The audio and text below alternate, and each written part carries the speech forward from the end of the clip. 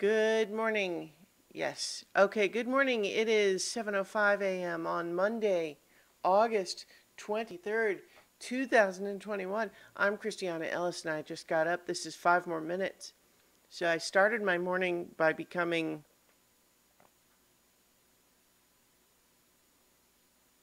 I was about to say angry, but that's overstating it. It's not really angry. It's like moderately, slightly com- comically irritated about movie stuff on Twitter, you see.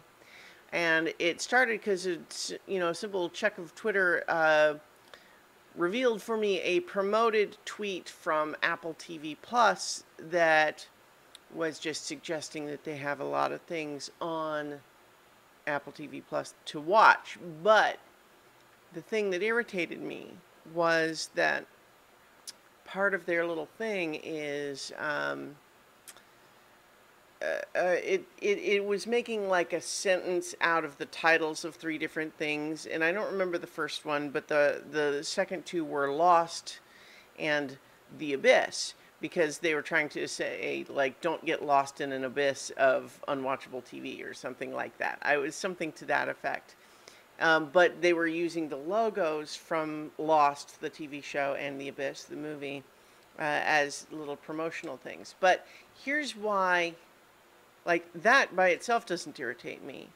But what does catch my eye is using The Abyss because I'm thinking, oh my God, the Abyss is one of those movies, bizarrely, like True Lies, that is somewhat inexplicably in, unavailable on to watch in almost any context, unless you own a uh, now out of print DVD or laser disc.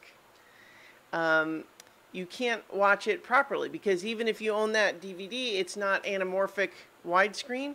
So if you try to watch like any currently available version of The Abyss on your modern TV,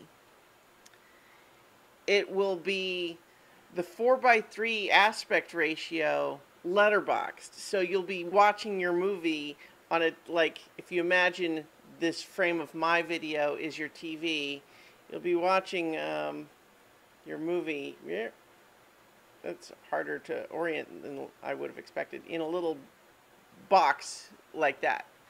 Um, and the reason for that, apparently, to hear some people tell it, all that's necessary is for James Cameron to just sit down with the new high definition um, transfer and just say, yep, that looks good, print it and that's all that it takes. But he has not done that for years, and it is so hard to watch The Abyss, much less the dramatically superior director's cut. You can watch the theatrical cut in that state by paying for it on some sources, but it's like there's no way to watch it properly anymore, and it's this thing that's been dragging on for years now, and it's irritating. And so I see on Apple TV Plus this promoted tweet. The Abyss. Do they have Do they have something that I have not heard about? Go to the Apple TV Plus, uh, which I do subscribe to. Check it out. No, they don't have that movie. It's so what? What? It's just for the joke then. Mm. And then that was just had me in a Twitter fighty mood. And so when I caught another, there was a tweet talking about uh, the original tweet was talking about the idea of red flag movies, and the examples they gave were Fight Club and Joker. Uh, and they were, the original tweet was trying to talk about, like, okay, we know about red flag movies, but what about green flag movies? But of course, the uh, very predictably, the, the huge number of replies are all about what, are you saying that liking Fight Club makes me a bad person? Well, fuck you. Right, you know what? I'm gonna, I, mm, I wish I hadn't just used the F word right there. Anyway, it's, um, you know, I think it's fine. Um, you guys know the, these videos aren't for kids, but even still, like, I'm just trying to, I, I, I regret how aggressive that came across even in just re replying as in character as one of these people.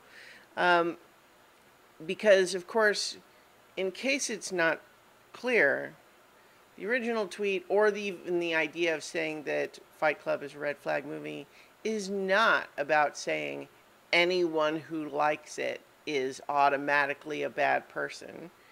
Of course not.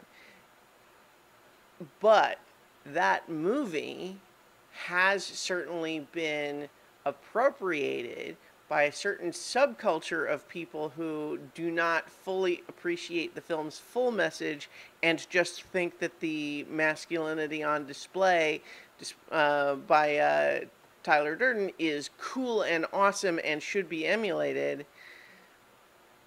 And I think it's a fair criticism of the movie that even though its point is that you shouldn't do that, nonetheless, it has uh, failed to convince a lot of its own fans of that.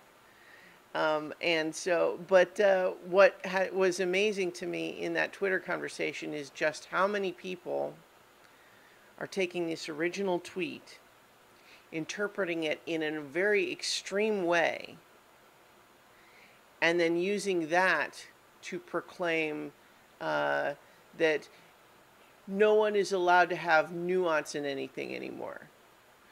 And their argument being like it's okay to it, you should be able to have nuance where a movie is about an anti-hero and you can appreciate it without thinking that that anti-hero is a good person or that they should be emulated. And what about nuance? At the same time that they're denying that allowance for new nuance to the original tweet itself.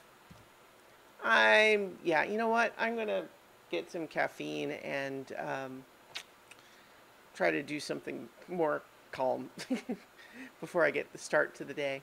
So uh, I will leave it there and I will talk to you all tomorrow for five more minutes.